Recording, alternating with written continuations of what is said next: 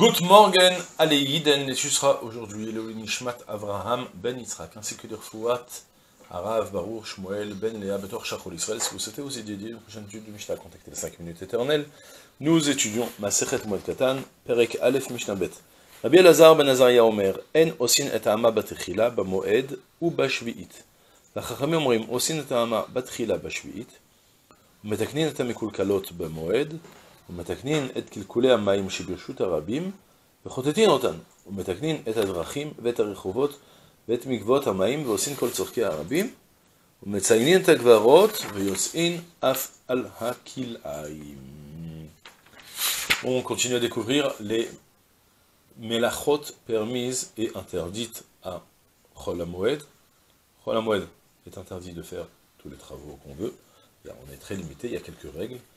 qui définissent quel type de travail on peut faire, notamment, de manière générale, tout ce qui va avoir perte et que ça implique un travail qui ne demande pas beaucoup d'efforts, alors on va le permettre, et si ça demande plus d'efforts, ou bien c'est pas pour éviter une perte, mais juste pour, euh, pour, euh, éviter, pour, pour, reprendre un gain, pour, pour, éviter qu'il n'y ait pas de manque à gagner, quoi, eh bien ça, ça devient euh, ça, ça, devient interdit, parce que ça s'appelle les. C'est à peu près les règles qu'on va voir fréquemment. Si c'est juste pour éviter une perte, c'est permis. Si c'est parce que tu veux gagner, même si c'est quelque chose d'important à gagner, on va plus te permettre. C'est à peu près ce qu'il va y avoir. Pour le moment, on va découvrir euh, un premier sujet en rapport avec l'arrosage. Rabbi Elazar, ben, euh, à l'époque, pour arroser les champs, il prenait depuis le fleuve, il, il creusait une sorte, ce qu'on appelait une hama, ils irriguaient les champs en fait en faisant des petits canaux, ça s'appelle une hama, comme une coudée, parce que réellement ça faisait une largeur d'une coudée, une profondeur d'une coudée. Et maintenant, vous imaginez, ça, avec, on se retrouve en général à Pessar, on est après la saison des pluies, il y a eu plein de boue qui s'est magasiné dedans, toutes sortes de pierres, il faut, en général nettoyer, entretenir ces hamottes. En général, arrive le printemps et on va on les recreuse, ou bien on va plutôt les, vider de toutes les impuretés qu'il peut y avoir. Alors là, c'est le sujet de notre Mishnah. Rabbi Elazar ben Azaria, Rabbi Elazar ben Azaria dit on n'aura pas le droit de faire la hama, donc ce petit canal, batrila bamoed. Achol tu n'as pas le droit de le creuser pour la première fois, ni à moed et ni à shvit. Shvit aussi, là de nouveau, on a le même sujet. Il faut bien comprendre que c'est deux choses différentes, deux types de problèmes de nature différentes. Pour le cholamod, notre souci, c'est que tu ne travailles pas. Pour la shvit, notre souci, c'est que tu ne vas pas améliorer ton carca, faire des travaux agricoles dans ton carca. Donc du coup, il va nous dire, quand tu creuses, alors creuser en soi-même, en, en, prenant un chevite, c'est pas un problème. Sauf que quand tu creuses, tu prends de la terre, tu la mets sur le côté, tu vas avoir de la terre fraîche posée sur le côté. Et là, la terre fraîche qui est là, c'est comme si tu as labouré, ça ressemble. C'est devenu une terre qui est apte à, être euh, travaillée.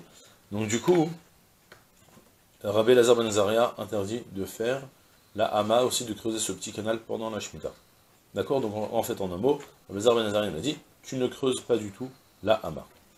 Et Vachachamim Omrim, Chachamim ont dit, aussi Batrila Bashvit. Pendant l'année de Shemitah, tu as le droit de creuser. Parce que réellement, quand tu vas creuser, tu verses pas près la terre qui te reste juste à côté des bords. Tu prends, tu la jettes plus loin. Tu la jettes plus loin, donc t'es pas en train on voit pas que tu es en train de travailler la terre, on comprend bien que tu es en train de creuser. Et en plus de ça, au metaknin et à mekul kalot bamoed. Qu'est-ce que ça veut dire metaknin et à mekul kalot bamoed On aura même aussi le droit de réparer les mes kulkalot, les, la hama, les petits canaux qui se sont abîmés pendant Khalamoed. C'est-à-dire, Chachamim il dit, tu sais, pendant Khalamoed, je ne te permets pas de, je te permets pas de creuser la hama, c'est vrai. Mais si elle s'est remplie d'impuretés, alors tu auras le droit de la vider. D'accord? Tu vas te mettre à le mekulkal. Tu vas réparer ce qui a été abîmé. Tu la vides en fait de toutes les impuretés et de toutes les pierres qu'il peut y avoir dedans, pour que l'eau arrive bien. C'est un travail qui demande moins d'efforts, et par rapport à la facilité ensuite pour pouvoir arroser ton champ, parce que tu as le droit d'arroser ton champ ensuite, pendant, le pendant alors on va te permettre même aussi de nettoyer comme ça le canal.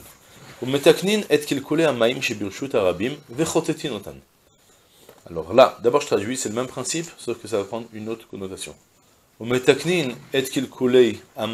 aura, on aura le droit aussi de réparer les canaux endommagés de d'eau chez Birchut Arabim qui se trouve sur la voie publique, plutôt les grandes flaques d'eau ou bien les, citernes d'eau, Vechotetinotan, et on, pourra aussi les creuser et les nettoyer. Soit, en fait, là cette fois-ci, apparemment tu me répètes plus ou moins la même chose. Tu es en train de me dire que pendant Khalamoued, s'il y a l'eau pour le public qui arrive, pendant Khalamoued d'abord, il faut peut-être introduire. Pendant Khalamoued, il y avait les gens qui montaient à Yerushalayim. Ils avaient besoin d'eau pour boire. Ouais. Et donc du coup, il y avait même des plusieurs tzadikim de gens qui partaient creuser des puits à, tout au long de la route, comme ça de temps en temps ils pouvaient s'arrêter pour s'abreuver, boire.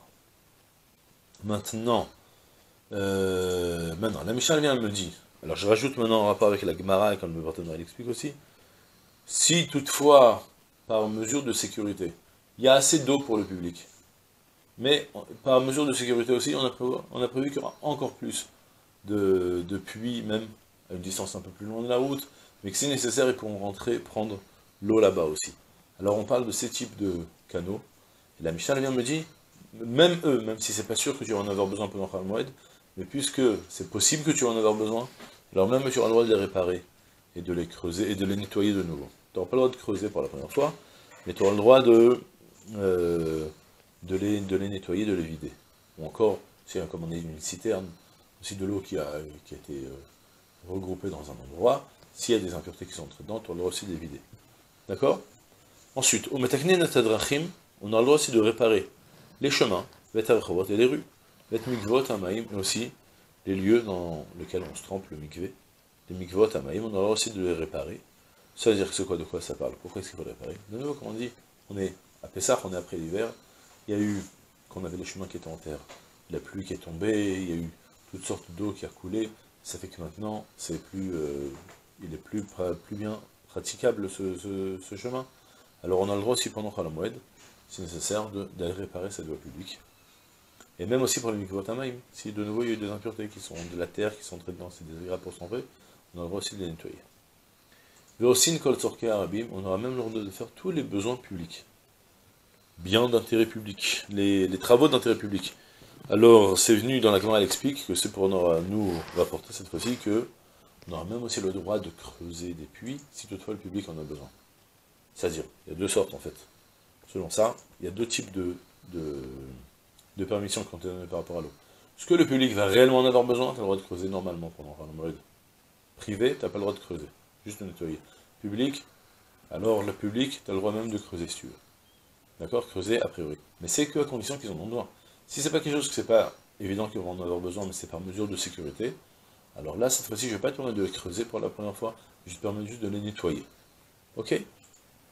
Ensuite, on met Tsainin et Agvarot, et on aura, il faudra aussi mettre des, un tsioun, euh, comment dire, on pourrait dire sur un kever, sur un kever, d'abord sur une tombe, on aura le droit aussi d'être Metsayen, de, de lui mettre une distinction. En fait, le principe est très simple, c'est que pour que les gens si on passe au-dessus, à proximité d'un caver, d'une tombe d'un mort juif, alors si on passe même au-dessus, on va devenir impur par OL. Pour éviter que les gens vont devenir impurs, alors on avait l'usage que, au moins, on le moed, deux fois par an, même plus, on partait et on mettait de la chaux blanche sur les sur les, sur les, sur les tombes. D'accord Pour nous rappeler que autant que le mort il est blanc, les os ils sont blancs, alors de nouveau, on met du blanc, c'était la, couleur qu'il a choisie. Ça, c'est pour le, euh, donc. Il y a eu la pluie de nouveau qui est tombée. On a envie maintenant de remettre un petit coup de frais dessus, un petit coup de blanc, on aura le droit de le faire. Ça, c'est au Messanin et Kvarot, donc on aura, le droit de faire un Tsioun sur les Kvarot, d'être, de les marquer. Et aussi, Veyotzin alakilaim, ou Af alakilaim. Et on aura aussi le droit de, il faudra aussi pendant Khalamoued, partir vérifier qu'il n'y ait pas d'équilaim. De nouveau, c'est bien pour Pessah. On a planté durant l'hiver, Maintenant, on n'avait peut-être pas fait attention que dans ce qu'on avait planté, en fait, dans les graines, il y avait des grains de blé, et il y avait aussi des grains d'une autre espèce qui étaient mélangés dedans. C'est là qu'on a transgressé peut-être l'interdit de, euh, de kilaim, de, des mélanges interdits, des plantes interdites. Oui, ça dira le. On n'a pas le droit de planter, on n'a pas le droit de planter un champ de kilaim. Du coup, du coup, maintenant, quand on sème les graines, alors c'est possible que tu as des graines de lin qui sont mélangées avec ton, ton blé, et ça se voit pas à l'œil nu facilement, il faut aller chercher une par une, on t'a pas demandé une par une. Tu sèmes, et une fois que ça pousse, tu vas voir tout de suite c'est quoi du lin et c'est quoi du blé. Et eh bien tira, tu devras arracher les kilaïm. Si toutefois tu n'as pas, n'es pas parti arracher les Kilaïm, alors il y avait des responsables du Beddin qui s'occupaient, eux, de partir pendant Khalamoued à faire le tour des champs pour vérifier que toute la récolte qu'il y a, elle est réellement pure de l'espèce. Sans Kilaïm, sans mélange d'espèces hein, qu'on n'a pas de greffer ensemble. Et maintenant, le chidouche, c'est qu'on fait ça même pendant Khalamoued. Vous allez me dire quel est l'intérêt par rapport au Khalamoued Et là, c'est un intérêt original. C'est l'intérêt que c'était, puisque c'était un travail qui était payé par la caisse du Beth alors pour économiser à la caisse du, du, du, on prévoyait de qu'il n'y ait pas trop de frais. Pendant Khalamoued, les gens se louent pour moins cher. D'accord Parce qu'il y a moins de travail, et celui qui a vraiment besoin de travailler, alors il est prêt à prendre moins d'argent pour, pour peu qu'il ait le mérite de travailler, de recevoir, de ramener à manger à sa maison. Donc du coup, pendant Khalamoued, les ouvriers coûtent moins cher. Alors, la Mishnah m'enseigne, tu sais quoi Sortez faire les Kilaïm à l'époque de Khalamoued, comme ça, vous ne payerez pas cher les délégués pour aller vérifier, et ça fera moins de pertes pour la caisse du BTK.